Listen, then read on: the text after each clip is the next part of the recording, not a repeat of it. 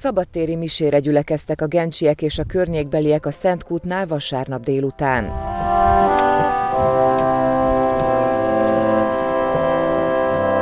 Hosszú idő után ez volt az első közösségi esemény a faluban. Azt ünnepelték, hogy megújult a kápolna környéke.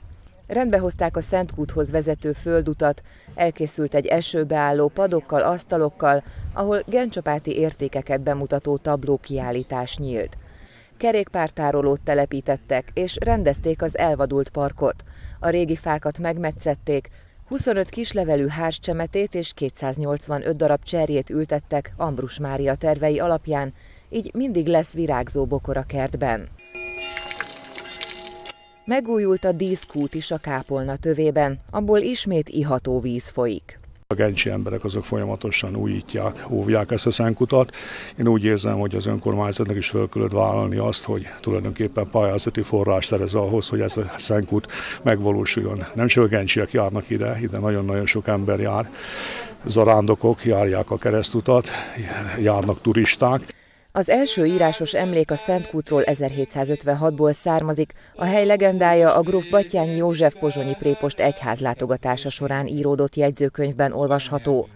Török Mihály és neje László Katalin hálából kápolnát építettek a forrás fölé annak emlékére, hogy világtalan gyermekük szemei megnyíltak, miután megmosdott annak vizében.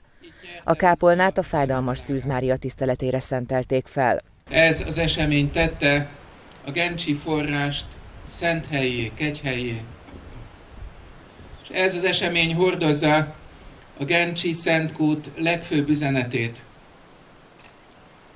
Ez az üzenet az, hogy Isten kegyelme megvilágosítja, látóvá teszi a szívünket, fényel tölti be az életünket. A Szentkút másik fontos üzenete, hogy a vidéki ember kincs. Szoros kapcsolatban áll a természettel, és tisztában van a valódi értékekkel, mondta szent beszédében a megyés püspök, aki megáldotta a megújult kegyhelyet. Így kérünk, hogy áld meg ezt a helyet, a díszkutat és az itt befejeződött beruházás eredményeit, valamint minden ide látogatót, a beruházást Bodorkós Ferenc polgármester és Kondora Bálint a megyei közgyűlés alelnöke mutatta be, majd Kevi Albert a megyei értéktári bizottság elnöke méltatta a Gencsapáti gazdag kulturális hagyományait.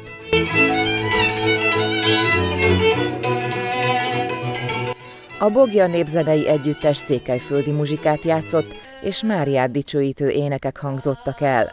A Szentkút tovább szépül, a jövőben a tervek szerint vizes blokkot alakítanak ki a látogatók számára.